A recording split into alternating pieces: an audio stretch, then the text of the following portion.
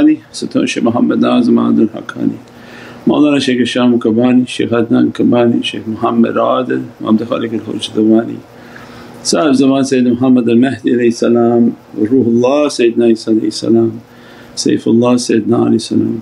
ثم سيدنا بكر الصديق سيدنا عمر سيدنا عثمان. إمام الحسن عليه السلام إمام الحسين عليه السلام سيداتنا فاطمة عليه السلام. وسائر سادتنا والصديقين الفاتحة. والحمد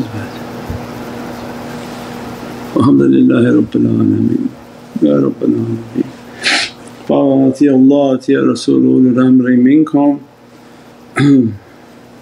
and always a reminder for myself and Abdul Ajis, Da'if, Miskeen, Zalim, Jahil but for the grace of Allah that we're still in existence. Bismillah ar-Rahman ar-Rahim, Allah, Ati Rasul wa ulul amri minkum. Alhamdulillah the immense blessings of the month of Rabiul Awwal and the celebrations of Milad al-Nabi and that the path is based on building the heart and lowering the control of the mind in a world that operates the opposite. In this world everything is about the mind and no need to activate the heart. And in the heavens everything is about the heart and the control of the mind. And the issue comes in our lives that in this ocean of Allah's infinite rahmah and mercy Awliya are like a mountain, jibalan awtadan that there's a category where Allah gives that the mountains are like awtad, the pegs.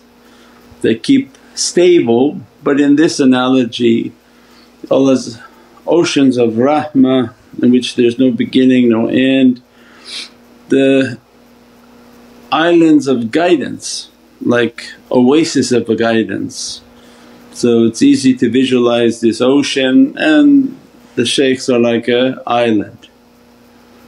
Each of the students in their lives they have their own boat that they're trying to keep close to that island, docked upon that island like a chain. So in our lives we have our, our life is like a boat, we're in a sailboat with our family, ourselves and our condition. Assalamu alaikum wa. This is Shaykh Nurjan. Thank you for watching the video that you're watching. Inshallah if you're happy with the content and happy with these programs please support the button below the programs that we have for our orphanage repairs, our water well, give the gift of life, our mobile food vans we have now five vans Vancouver, Chicago, Los Angeles, Pakistan. There's many programs that reach thousands of people and rescue foods and give those supplies to people in need. Your support is greatly appreciated. Also, be so kind as to leave uh, loving comments and please share the stream. Every bit counts. Assalamu alaikum wa rahmatullahi wa barakatuh.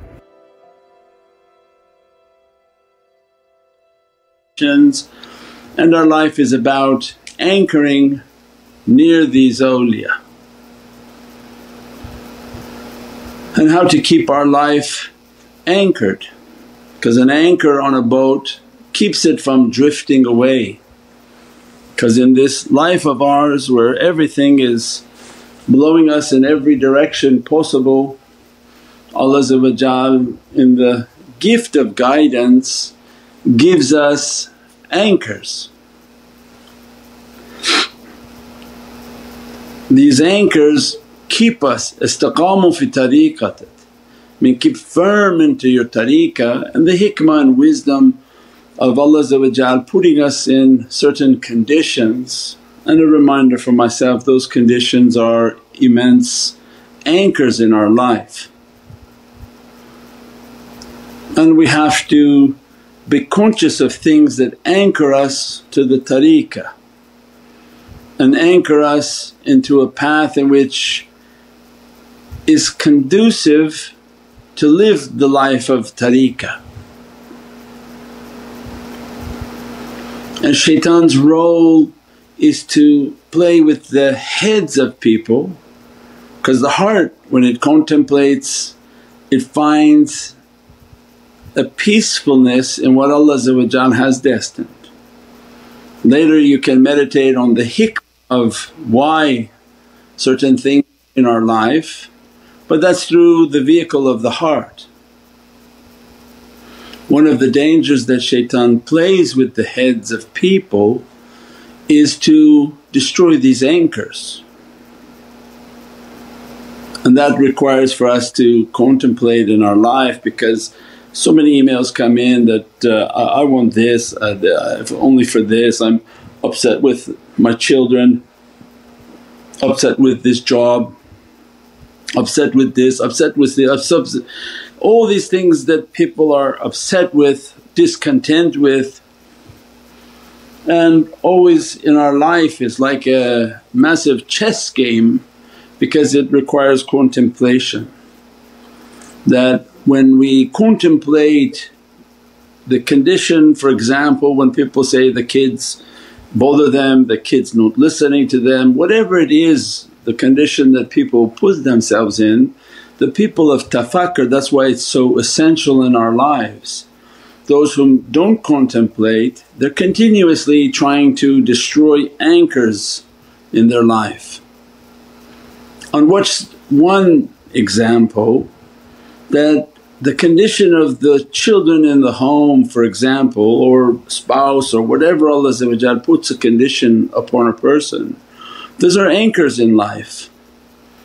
The way they are, the situation they are, it grounds people.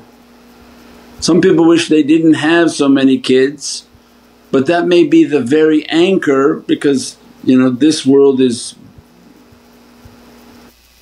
tumultuous, lots of storms. And this is just for us to take an example of a, a specific understanding that a condition that we think is a problem or an issue, it may be very essential for our path. Or people are emailing all the time that they want a different job. And if a different job comes, could that be the destruction of an anchor in which holds us on our path right next to that mountain or to that island?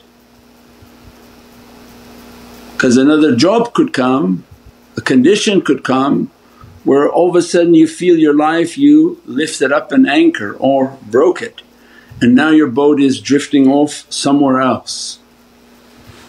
Because of the conditions now you put yourself into for a new job, new place, new identity. And those are the dangers, not everything that opens for people is an opening and everything that people are trying to struggle towards and struggle for they have to be if they're interested in their path and they're interested in their spirituality they have to continuously contemplate that this issue I'm about to change in my life if I change this work does it change conditions upon me? And do you think that it's drawing your anchor deeper to your path or you may actually be, be breaking an anchor and now your boat is almost more in danger of drifting away. Then you complain about another issue in your heart and then shaitan is trying to make you go after all your anchors. And before you know it your boat is drifting from the island. You see the shaykh less, you talk to the shaykh less, you communicate with the shaykh less. Why? Because now you you lifted the anchors that kept your boat near the island, so near that you could jump on board the island, walk around. I mean the proximity in which people put themselves to the tariqah is important. But the inner complaints the shaitan pushes into their hearts and the waswases that shaitan puts into their hearts before you know it you see that their boats are drifting from the presence of the shaykh and they're not anchored near the island. They're farther away and they say, it's okay, it's okay we, can go less, we can talk less, we can communicate less with the shaykh. But you're not affecting the island if you have an issue or concern or you don't like the shaykh or something's changing in your heart about the shaykh or the tariqah or whatever it is the shaitan plays with people. Always remember the island's still there. All you've done was cut your boat from it and now your little raft and lifeboat in this immensely dangerous life we live filled with whomever you're responsible for is adrift at sea and just flopping around now to the waves. You have the feeling that you can see the shaykh or you can see the island, it's okay, it's at a distance but there's a danger for that. And that's one of the realities of tafakkur when we stop meditating and we start listening to shaitan's waswas. It's like this, it's like this. You don't have to ever think about the island, why is it like this, why is it like that, it's not your business. The island is the island. Your business was to keep yourself in that little boat locked on, keep your anchor down. When you're too concerned about the island and not concerned about your boat, shaitan has played with you. That's when we gave the earlier examples where Allah gives from such a high example. You know to come just to critique Sayyidina Khidr it didn't work. You go your way, we go our way.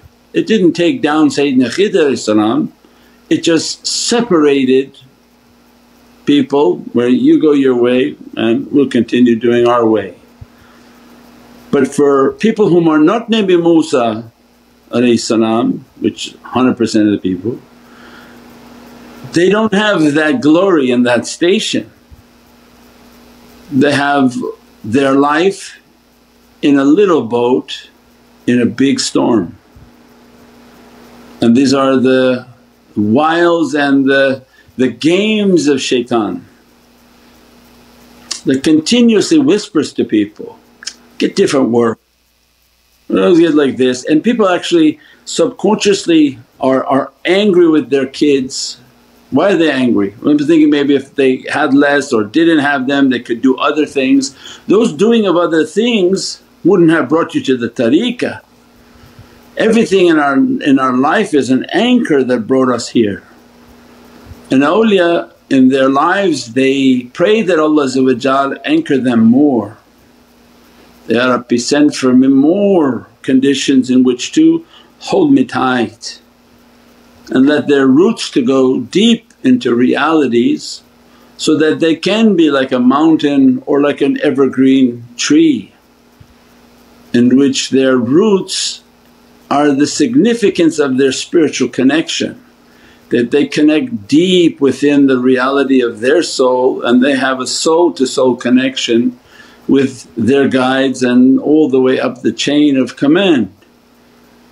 So we want to get to the condition in which we're deeply rooted in realities.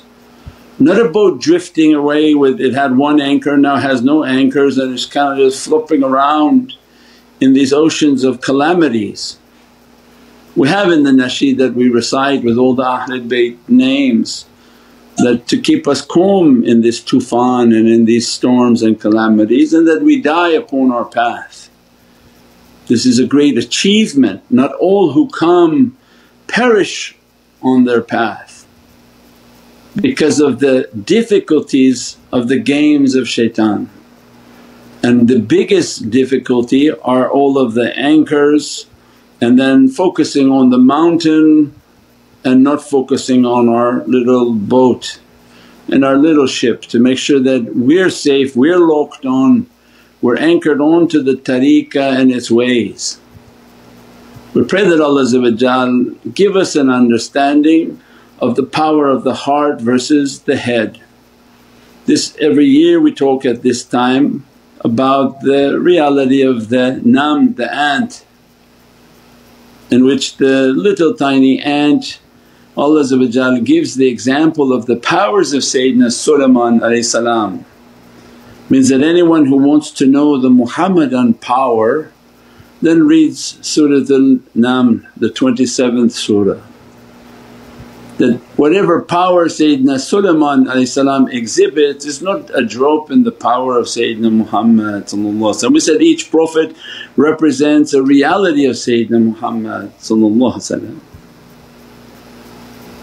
One such reality was the ability to even communicate with ants in which one the reality of the ant Allah gives the example that the ant called out to all its community that all ants enter into your homes. The armies of Sayyidina Sulaiman are marching, least we be destroyed by the approaching armies.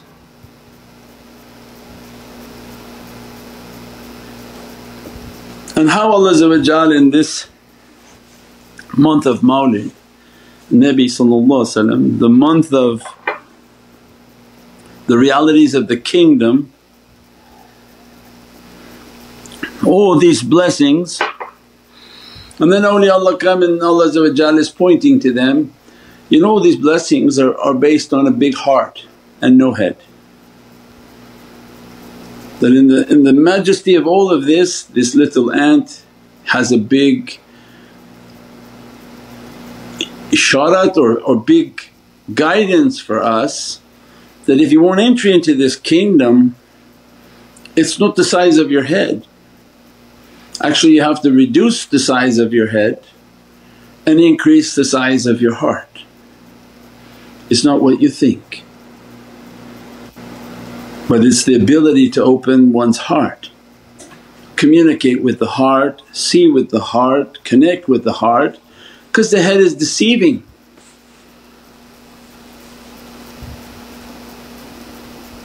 The head and what the eyes comprehend based on its own understanding. If you have blue glasses you see the world as blue, you would look at the shaykh and say, he's blue.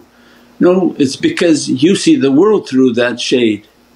So you don't ever pay attention to your eyes because they're attached to your head. You don't pay attention to your ears because that's attached to your head. But the tafakkur and contemplation is attached to the heart and that the heart of insan is the house of Allah not the brain. Allah has nothing to do with the brain and as a fact our zikr is La ilaha illallah, La to the head, ilaha to the right, illallah nothing but Allah into the heart. So then Allah gives an example of a creature that when you look at it has no head, both sides look the same from the front and the back, you don't know if it's moving forward or it's moving backward. And that this is a creature based on its heart. And as a result of their heart they all communicate without cellular phones. So they actually say if you go to, to destroy an ant it's communicating with all the other ants.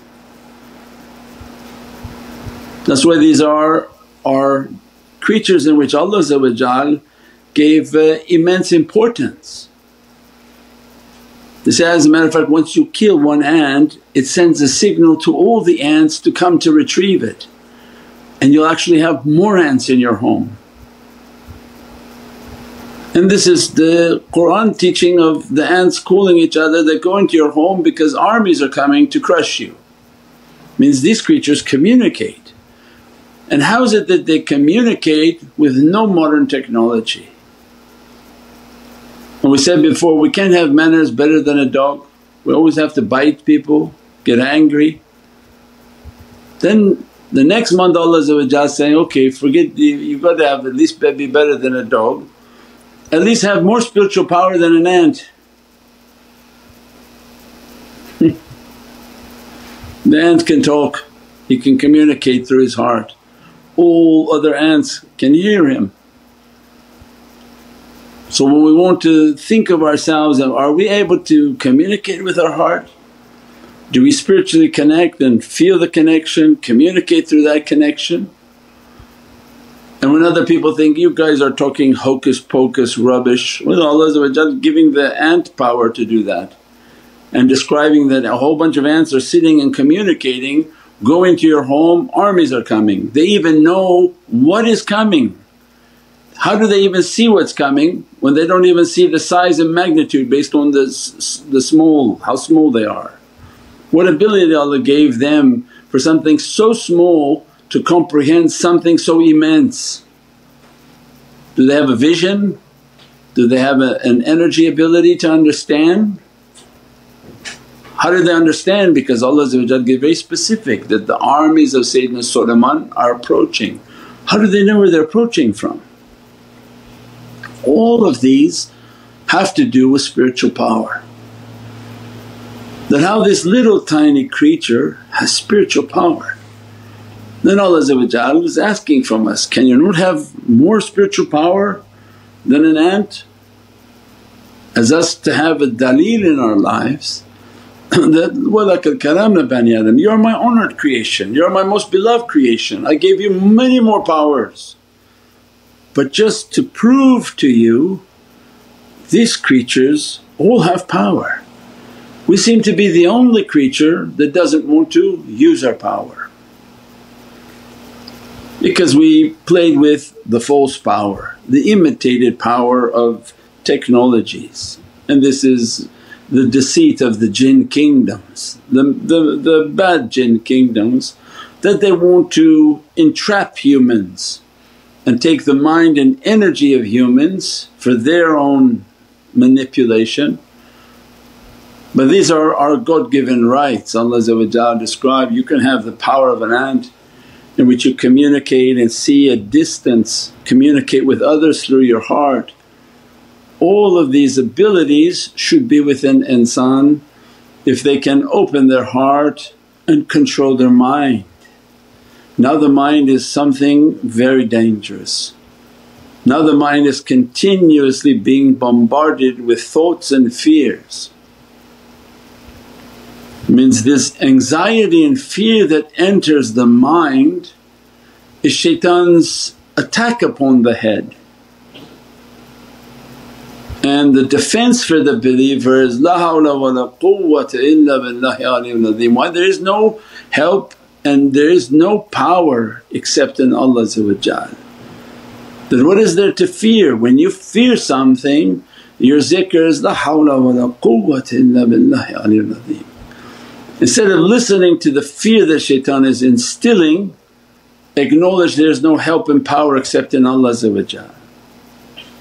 and that His power to reach to you. And take away fear, take away anxiety, take away the control the shaitan is putting upon the head and then the dhikr of La ilaha illallah, La ilaha illallah bringing the servant back into oneness. That there is no power, there is nothing and that illallah and that energy comes begin to burn the head from where shaitan is playing and put the light back into illallah except in Allah and then definitely durood sharif so that to have the presence and power from Sayyidina Muhammad that as we enter into these difficult phases of dunya, this is the, the end of days. Which have momentous events, calamitous events, the bombardment of shaitans attacking upon humanity is not something small but something immense and all of that requires the spiritual training and development that lowers the head and increases the heart. And think into my life if I don't want to communicate with the shaykh, the choices I make in life are they anchoring me to the island, closer to his island, closer to that reality or am I finding myself drifting away? I get this new job, boom, I cut the anchor, nowhere to be found. I get this new thing I wanted, you cut another anchor.